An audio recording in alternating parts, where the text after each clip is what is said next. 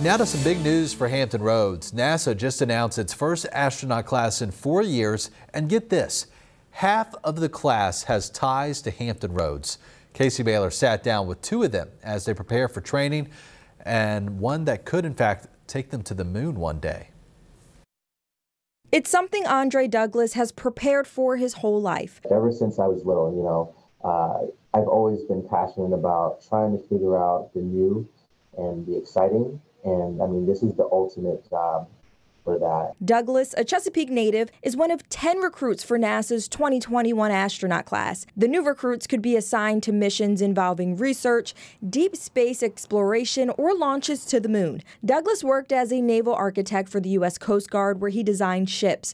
He also designed spacecrafts to explore. Skills, he says, make him ready for any task at hand. Any job, any assignment is is going to be a blessing. And I'm, you know, with my versatile skills, I'm just ready to tackle any one of the missions they throw at me.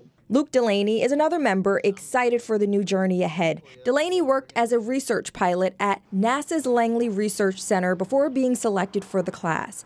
He's looking forward to traveling to the moon. It's really exciting. I, if we get to start building stuff on the moon, some infrastructure, and having a more uh, continuous presence up there, that is just going to extend our, our knowledge base. Now they're ready to start training and explore. And to kind of go forward and be able to do some of the things that I've seen my predecessors do, that just, just blows my mind. So I, I think about that as, wow, that's really exciting to be able to make a big impact to contribute to this organization for the benefit of mankind. I mean, Casey Baylor, 13 News Now.